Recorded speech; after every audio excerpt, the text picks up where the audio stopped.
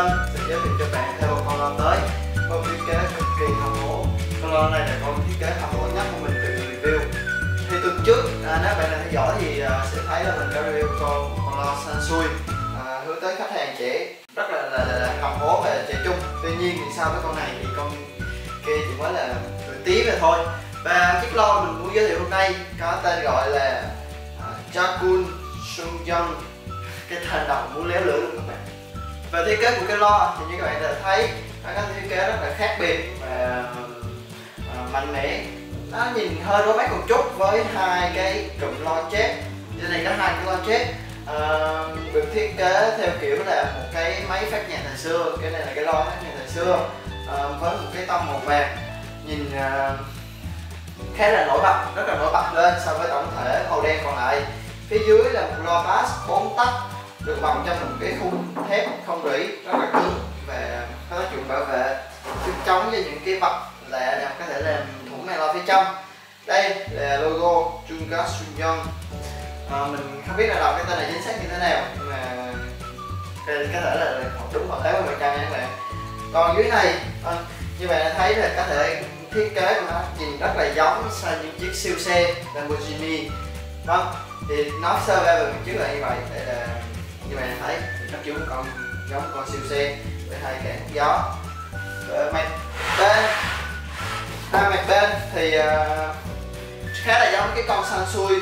Mà bữa mình đã review là có những cái khe à, để chúng ta có thể dễ nâng đỡ cầm nắm chiếc loa. Mang vác chiếc loa cũng như là tôn lên cái thiết kế là nó cắt sẽ nhiều mạnh mẽ hướng đến đối tượng trẻ và à, những người mà nên năng động.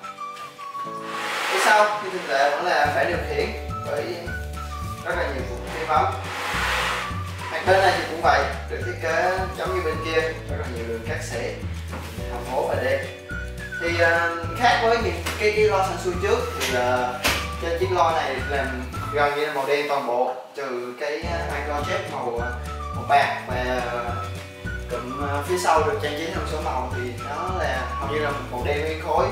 Bánh xe là màu đen thì cái kéo được là cũng luôn và nó cũng như con Sansui có hai chiếc bánh xe sau và một cái thanh kéo. Để chúng ta có thể di chuyển nó trên mặt phẳng dễ dàng hơn.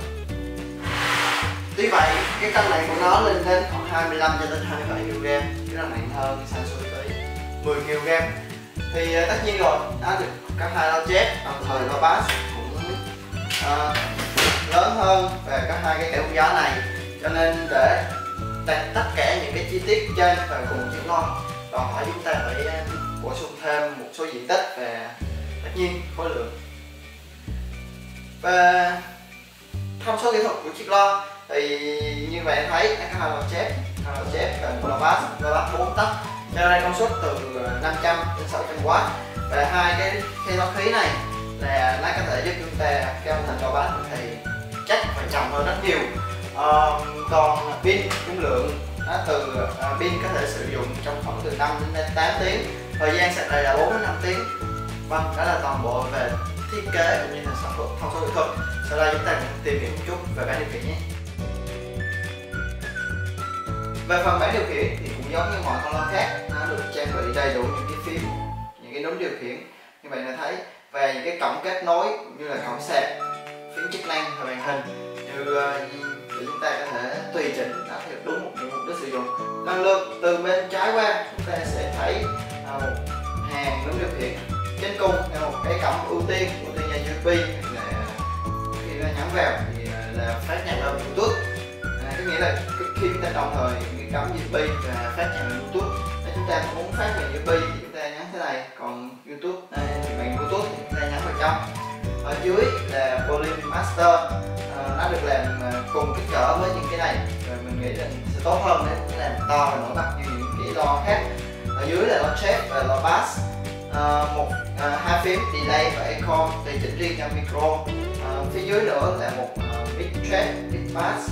Cuối cùng cuối cùng là mid uh, guitar và mid phone tiếp theo là một hai cổng cắm mic và với hai cái mic không dây được một chỗ thêm chúng ta sẽ có tổng cộng bốn micro một cổng audio input nó không hỗ trợ cổng audio output cho nên uh, các bạn sẽ không thể kết hợp những cái cái lo này lại với nhau thì không thể âm thanh được. Chúng ta chỉ có thể kết nối các thiết bị ngoại vi à, mà truyền tín hiệu như là màn hình hoặc là đầu thu phát vào cái à, dàn lo này.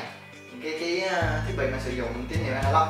Rồi cái này ở dưới là một cái cổng DC 12V dòng điện 11 triệu 12V để sạc bằng nhạc quy ô tô điện xe máy trên này là một màn hình led hiển thị chế độ. Mình mở lên cái này và dưới này. Là hai chiếc công tắc. Một chiếc uh, công tắc power và công tắc điện cho cái lo. Công tắc sạc. Và đó là toàn bộ thông tin về bản điều khiển của chiếc lo. Mình đã nói sơ qua nhắc cho các bạn về cái thông số kỹ thuật và thiết kế của chiếc lo từ tổng thể tới chi tiết cũng như là những cái thông số trên bảng điều khiển và sau đây chúng ta sẽ bước vào cái uh, màn thú vị nhất. Thử điều hành của chiếc con như thế nào nha phụ kiện kinh điển đi theo kèm theo lo quan vẫn là hai chiếc mic. À, với công nghệ tần số UHF mình nghĩ là nếu hai chiếc mic này được thiết kế kiểu mà nó hầm hố mà nó cắt xẻ nhiều những cái lo này thì nó sẽ đẹp hơn. Nhưng mà nó được thiết kế nó được làm theo kiểu rất là sang trọng với hai cái đầu mic là được làm bằng thép mẹ màu vàng như thế này hơi ờ, lạc quẻ một chút nhưng mà không sao. Thì mình tác lượng tốt thì ờ, bảo em. Alo alo một hai ba bốn. Alo alo alo. Cái mic này nó cái độ nhạc âm của nó rất là tốt. Nó không hề hú thôi các bạn. Nhưng mình để micro mà nó gần lo như thế này nhưng mà vẫn không có cái tiếng rít nào mà nó khó chịu đến tai mình cả. À, đồng thời là cái độ vang của nó cái echo của nó cũng rất là dày. Cho nên là việc hát karaoke nó sẽ tốt, nó sẽ thuận tiện và nó sẽ à, kích thích cái nguồn cảm hứng và cái độ tự tin của chúng ta hơn. Chúng ta cho ra những cái bài hát mà nó hay hơn, thú vị hơn. Và sau đây, mình sẽ thử nhạc cho chiếc con này nhé. Bạn chờ một chút. Về gom lại thương